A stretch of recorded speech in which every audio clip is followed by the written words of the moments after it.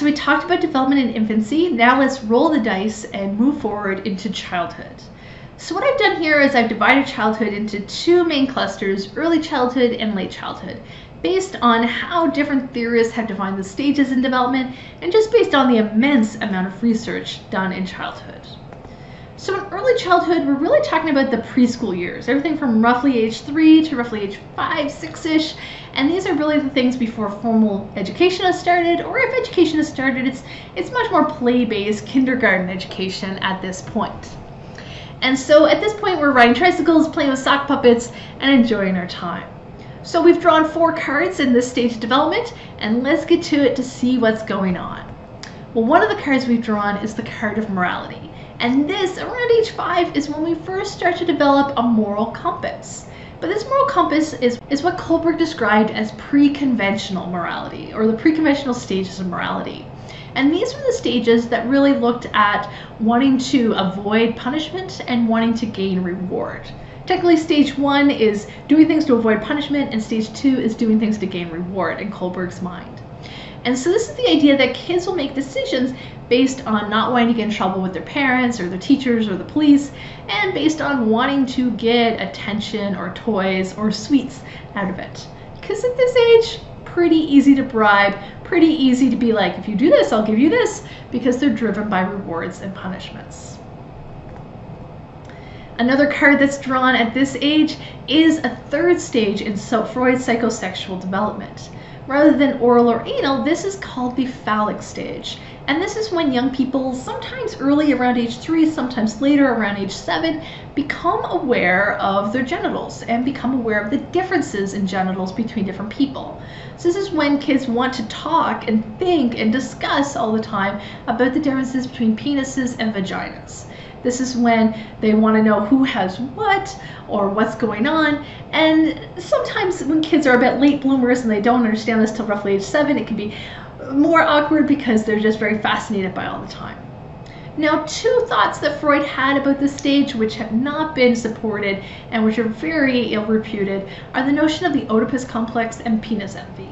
And both of these, the notion was that somebody would be able to see someone else's penis and become very jealous of it. In the Oedipus complex is the idea that a little boy would notice how large his father's penis was in comparison to his own, he'd become jealous of his father and want to kill him, so that he could marry his own mother. In penis envy is the idea that little girls would realize they are missing a part and become envious or jealous of boys who have penises. Now both these have been proven uh, incorrect and we've let them go away by the wayside. That being said, the phallic stage is something where kids tend to notice these about their bodies and they want to explore more about their bodies. And it lines up with Erik Erikson's psychosocial stage of initiation versus guilt. At this stage, social comparisons are happening. Kids are wanting to form friendships at daycare or at preschool. They're wanting to ask kids if they'll play with them on the playground or in the sandbox or ask them if they want to go to their house for a play date. But some kids might feel really confident in approaching others and initiating this, and other kids might become more guilty and shameful or hesitant or shy, and this might become a problem. Some kids might also feel free asking really interesting questions, asking about body parts, for instance, to their teacher or their parents, and they feel comfortable initiating those conversations. Versus other kids might be more withdrawn and hesitant to bring up anything that they feel awkward about being able to initiate and feel proud of yourself is a major milestone in Erikson's view that a lot of us might struggle with at older ages. Importantly, he did say you could always go back and re-resolve that, so then you could flourish and feel good having best friends later on in life. In terms of cognition, lots of really cool stuff happens here. We now move into the stage Piaget called the pre-operational thought stage. And pre-operational thought stage allowed us to master symbols we understand our one, two, threes and ABCs and what they stand for. We also understand what the fruits and foods represented two slides ago in representing genitalia. Or that a banana could be a toy phone. Or that the body parts on a doll could represent the body parts on us. Or we're able to read maps. Symbolism is a really cool cognitive skill to have. However, our cognition is also limited sometimes. And so there's two things that are really limiting our cognition at this stage. They are egocentrism and centered thinking. Egocentrism is the idea that you can't put yourself in someone else's shoes. A very famous experiment to conduct this was called the mountain experiment. So in the mountain experiment, the idea was that you'd have a three-dimensional mountain on a tabletop. And on one side of the mountain, you might have bunnies, and the other side, you might have horses. And you get a child to walk around the mountain, and you ask them questions, and they can remember what's on both sides of the mountains. But now, if you get the child to sit on the bunny side, and you're on the horse side, and you say, What can I see right now? The child will tell you that you see whatever they see. They don't understand that you have a different perspective from them. And that's because they're egocentric. Another thing we have to consider is the notion of centered thinking.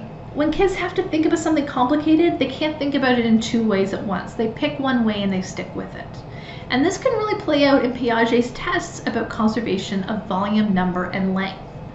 So the conservation of volume is the idea that if you were to pour water from one glass to another glass, you're not adding or removing any liquid.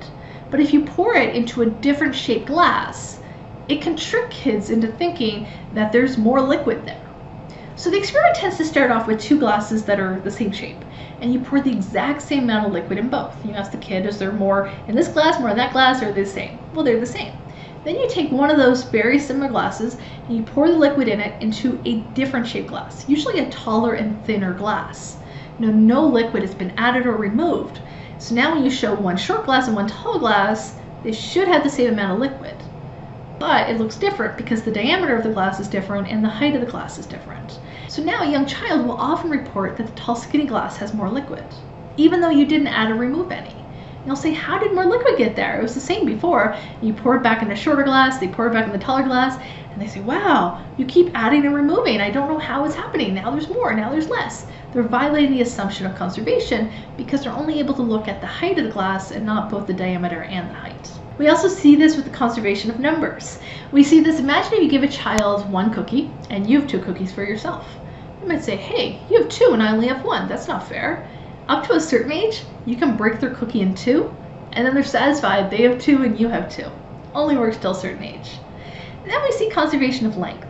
Imagine you had 10 coins. You put them in rows of five, and originally you had the rows spaced out the same. Child would be able to say, yeah, the, both rows have the same amount of coins. Then you space out the bottom row, make it more spread out. They will have a hard time paying attention to both um, the number of coins and the, the length. They tend to be hyper focused on the leg. They say, hey, that row has more money in it. Even kids that can count to five, they'll count to five and they'll say, oh, it still has more. I don't know how, but it still has more because they're so preoccupied with that. And finally, imagine if you have two pencils or two licorice sticks and you line them up so they start and end at the same point. A child will say they're the same length. But then if you slide one forward or slide one backwards so they start and end at different time points, kids can't pay attention to both the starts and the ends, and they will say one of them is longer than the other. It's really cool to see how a young child's mind works and how they solve problems and think about these ideas.